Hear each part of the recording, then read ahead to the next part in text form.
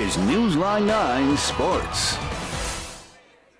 I'm live at Dale's Weston Lanes where we're gearing up to tape our special edition of Pack Attack. Now, wide receiver Chris Harper did just walk into the building, but because of special Badgers programming, this show will air on Thursday night on Newsline 9. Now, the Green Bay Packers enter the postseason after beating the Chicago Bears in dramatic fashion. Now, they will host the San Francisco 49ers in the wild card round of the playoffs. Now, the Packers have had a very challenging past trying to beat the San Francisco team. If you can remember, the season opener loss to the Niner Club last last year, only to have the same fate end their season in the divisional round. The Packers were unable to redeem themselves in the season opener this year and refuse to let history repeat itself in their own house this Sunday. Coach says that prevention begins with focus.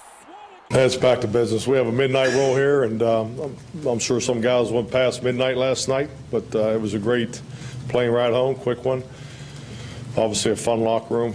Uh, but it's, uh, you know, it's playoff time, and, and we're focused on the 49ers today.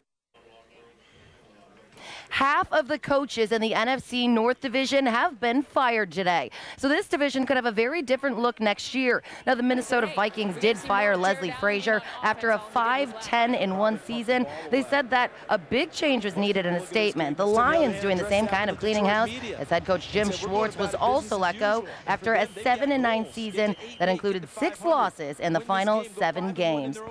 Well, we're just two days away from the Wisconsin Badgers taking on South Carolina in the Capital One Bowl, but odds makers a bit of a stir up.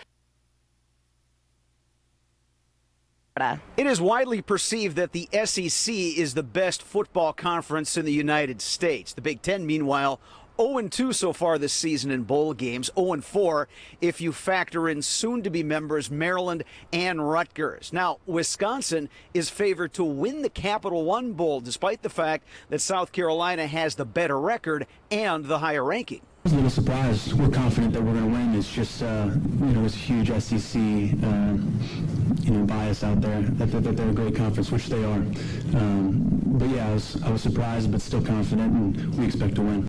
On the topic of how the Big Ten stacks up against the SEC, the two Wisconsin coordinators say they're focused on game planning for quality opponent.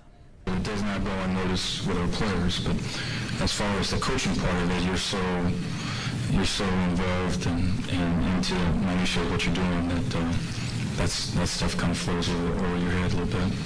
It's no secret Wisconsin will look to establish its ground game in the Capital One Bowl. We'll look at that and more game planning topics when I join you again tonight at 10.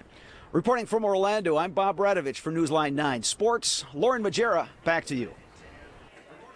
Thanks, Bob. Now, just a reminder the Capital One Bowl will air right here on Newsline 9 on New Year's Day. Reporting live from Dale's Weston Lanes, I'm Lauren Magiera, Newsline 9 Sports. Daniel, back to you. All right. Thank you very much, Lauren. And we'll be